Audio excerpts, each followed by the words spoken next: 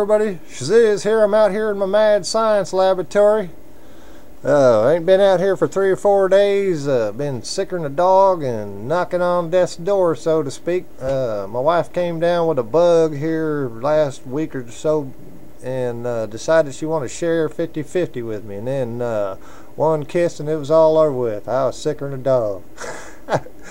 anyway, want to share this update here with you. This is uh, my magnetic field tester that I did in the previous video. And I added some Hall sensors in here to tell the difference between the, the North Pole and the South Pole of your magnet. Ugh. There's North. There's South and it'll also pick up the direction of travel and the strength of your field.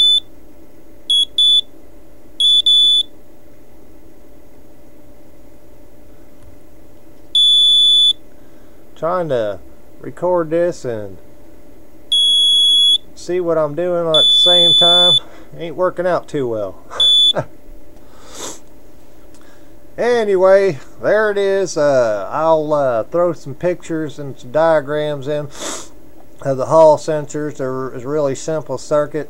Uh, this particular one has two Hall sensors in there, and essentially uh, one of them, whenever you get them, they'll they'll be uh, set up to go to to pick up the south field of your magnet and then if you want to pick up the north and shut off the south at the same time you take the second one and just flip it over backwards. And so now you got your north and your south whenever your magnet crosses past there.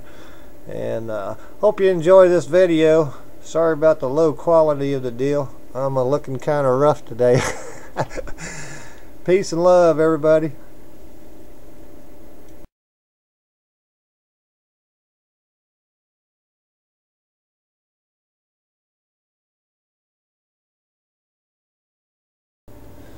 Okay, a uh, little quick short addendum. That last uh, picture you saw was a just a basic diagram of uh, the Hall effect sensor, what the Hall effect sensor looks like, a 3-pin AH373.